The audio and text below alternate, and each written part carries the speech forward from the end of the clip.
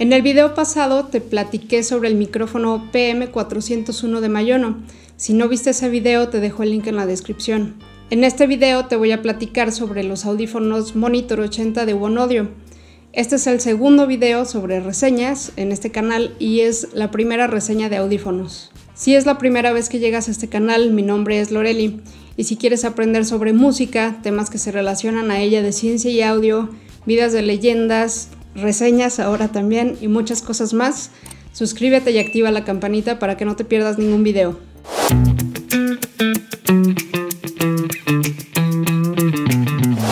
Antes de empezar con esta reseña, es bien importante que recuerdes que el sonido que percibimos depende de nuestros oídos, de la cadena de audio, y ahí entran hasta los cables. Si no sabes qué es eso de la cadena de audio, casi al final de mi video sobre música en hi-res doy esa explicación por si la quieres ver.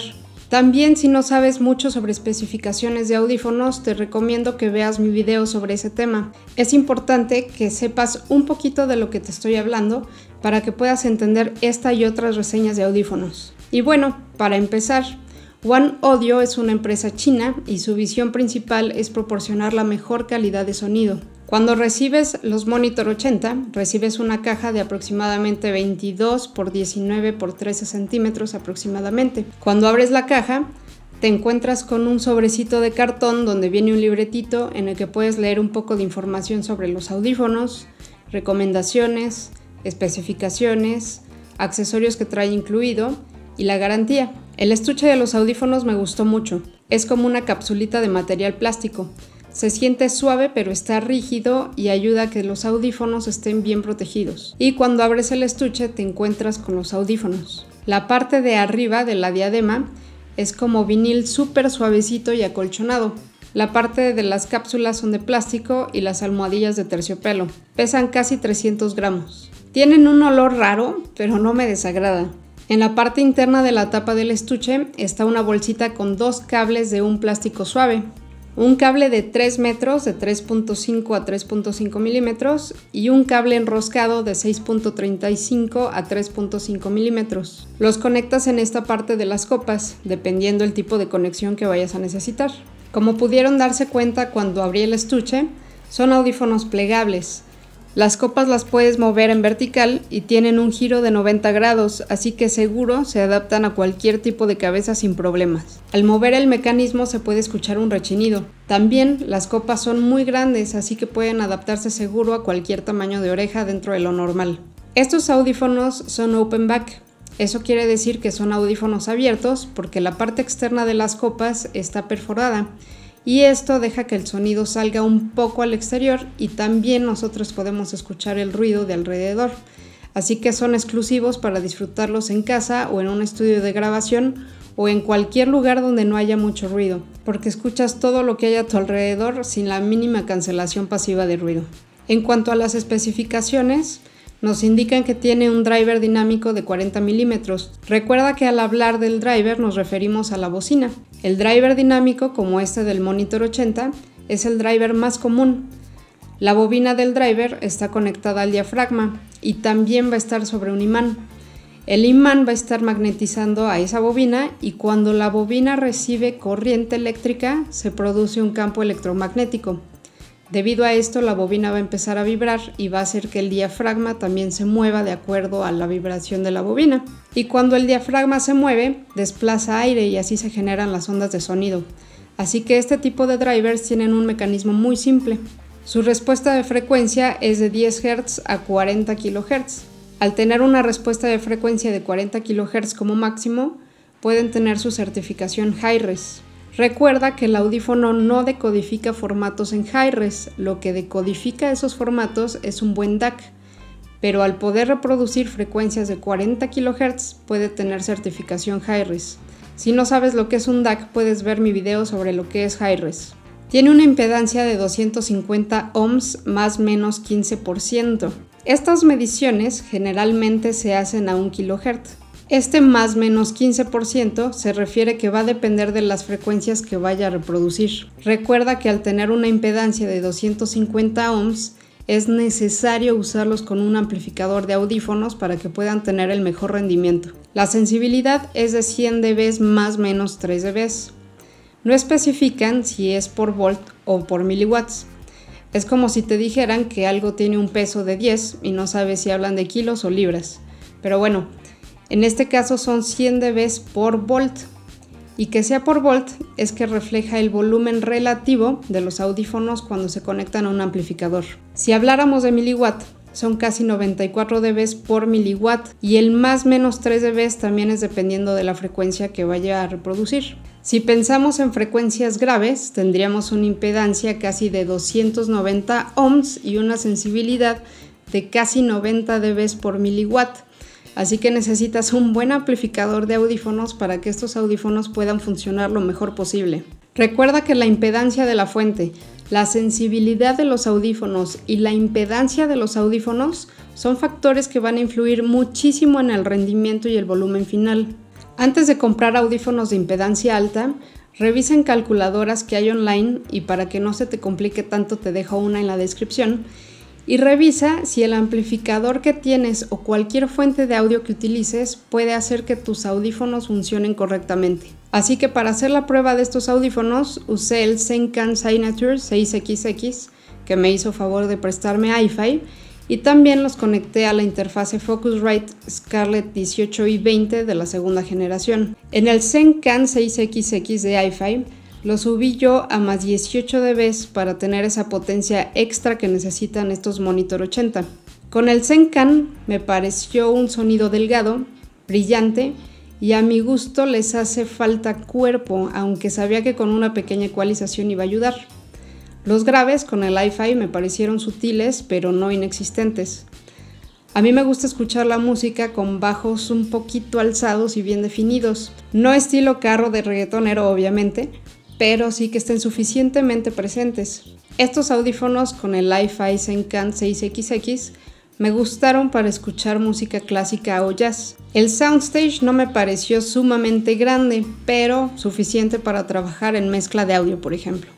Escuchando algo de rock progresivo, especialmente Harridan de Porcupine Tree, queriendo disfrutar a volumen alto como entre 11 y 12 de las manecillas del reloj en la perilla de volumen, los platillos en el coro me truenan los oídos y le tengo que bajar de inmediato. A ese nivel ya es lo máximo que yo soporto de volumen, pero no tolero ese agudo alzado. Y gracias a esta canción y a los platillos, me di cuenta que estos audífonos tienen un pico fuerte alrededor de los 6.5 kHz, otro pico alto, pero un poco más sutil, más o menos a los 3.5 kHz y otro poquito a los 11 kHz. También voces como la de Lara Fabián suenan estridente y hay que escuchar a un volumen moderado para que no lastime. También noté una micro caída más o menos a los 620 Hz, pero se reincorpora rápido a los 750 Hz aproximadamente. También noté una caída alrededor de los 2 kHz, pero sube rápido hasta llegar a los 3.6 kHz, que es como el primer pico. Pero ese pico en 6.5 kHz sí está muy fuerte, así que para rock, pop, funk, a mi gusto es muy brillante y les falta cuerpo pero se me hicieron muy buenos para música clásica y algo de jazz, por ejemplo. Ahora, conectándolos a la interfaz Scarlett cambia la cosa. Los graves alrededor de 100-110 Hz se hacen más presentes y ya la música tiene más cuerpo. No está ya tan brillante como con el hi-fi, aunque los medios siguen siendo muy nítidos, pero es un sonido más balanceado. El soundstage a mi gusto prácticamente se mantiene amplio pero no tan grande como por ejemplo con los Sennheiser 6XX. Podría escuchar la música y disfrutarla así con la Scarlett sin ecualizar, pero cuando ecualicé ya fue otro asunto. Tanto con el Li-Fi como con la Scarlett bajé entre 4 y 6 dB esa frecuencia de 6.5 kHz y descansaron mis oídos escuchando la música a un nivel alto sin problema. También bajé casi unos 3 dB a 3.5 kHz. Con cualquiera de los dos equipos puedes escuchar muy muy clarito los instrumentos en todo el rango de frecuencias en general, pero sobre todo en frecuencias medias, aunque se escucha más cálido el sonido con la Scarlett.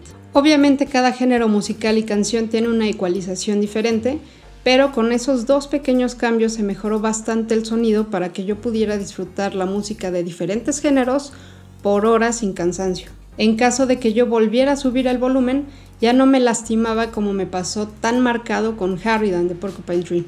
Con la Scarlett, con solo esos pequeños cambios de ecualización, me encantó escuchar canciones de diferentes géneros como Kiss from a Rose de Seal, pasar a jazz como So What de Miles Davis, música de Tony Bennett, el álbum de la noche de Presuntos Implicados, después el triple concierto de Beethoven, la introducción de La Bella Durmiente y la obertura 1812 de Tchaikovsky, Rhapsody in Blue de Gershwin, Keep Talking de Pink Floyd, y bueno, prácticamente cualquier género se escucha súper bonito con muchísimo detalle y sonido muy natural. El álbum de Live in Prague de Hans Zimmer se escucha muy bien y con todo detalle en las partes de volumen tanto alto como de volumen bajito.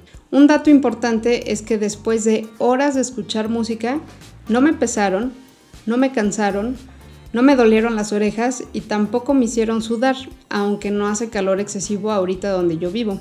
Son unos audífonos que puedo tener puestos por horas y no me cansan. También escuchándolos a un volumen bajito o moderado, noté que si bostezo o muevo la cabeza hacia arriba, hacia abajo o hacia los lados, rechina el mecanismo de ajuste de las copas. Puede que haya quienes no le hagan caso, pero para mí sí fue evidente. Un dato curioso es que puedes compartir el audio desde estos audífonos a otros también de alta impedancia. La ventaja es que no te quita potencia en los Monitor 80. Obviamente no puedes modificar el volumen desde los audífonos esclavos. Te tienes que adaptar al volumen que ajuste en la fuente quien ocupe los Monitor 80 y ya depende del rendimiento de los audífonos esclavos si suenan más fuerte o más quedito. ¿Los recomiendo? Pues depende. Los recomiendo más que nada para oídos analíticos. Si no eres de los que les gusta ecualizar o no sabes y eres muy sensible a frecuencias agudas, no te lo recomiendo porque te van a lastimar. Pero también si ese es tu caso y te gusta el jazz y la música clásica e instrumental, estos audífonos pueden ser muy buena opción. Si no escuchas bien esas frecuencias de entre 3 a 7 kHz, seguramente te pueden favorecer bastante. Para quienes les gusta escuchar música en la noche en un volumen bajito o moderado, están bastante bien. También lo podría recomendar quizá para quienes empiecen a trabajar con audio profesional por ser tan nítidos y por el soundstage, pero todo va a depender de la fuente. Solo tener en cuenta esos picos en los agudos no son para escuchar en lugares ruidosos, son para escuchar cuando esté solito, sin ruido alrededor. En resumen, ¿qué me gustó? El estuche, tanto el tamaño como el material, la opción de tener dos cables distintos con diferentes medidas, que no me cansaron después de usarlos por varias horas, la nitidez y detalles de los instrumentos. Se me hizo interesante el poder compartir el audio con unos audífonos esclavos. ¿Qué podría mejorar? Esos agudos. Para mí fue muy necesaria la ecualización, sobre todo si alguna canción quería escucharla un poco fuerte. Y el rechinido del mecanismo. ¿Cuál es el precio de estos audífonos? Ahorita que estoy grabando este video, los puedes encontrar en Amazon por 99.99 dólares y en AliExpress por 3.081.66 pesos mexicanos o 142.84 dólares, aunque ahorita tiene el 35% de descuento. Y siempre les voy a repetir, cómo escuchamos va a depender de nuestros oídos y de la cadena de audio. Y esta vez al compararlo entre el Hi-Fi Zencan 6XX y la Focusrite Scarlett 18 y 20, quedó más que confirmado. Déjame en los comentarios si ya probaste esos audífonos y qué te parecieron o qué piensas de ellos después de ver esta reseña. Si te gustó este video no olvides darle like y compartirlo y si no lo has hecho suscríbete y activa la campanita para que no te pierdas ningún video. Si llegas hasta el final de este video te lo agradezco muchísimo. Nos vemos pronto.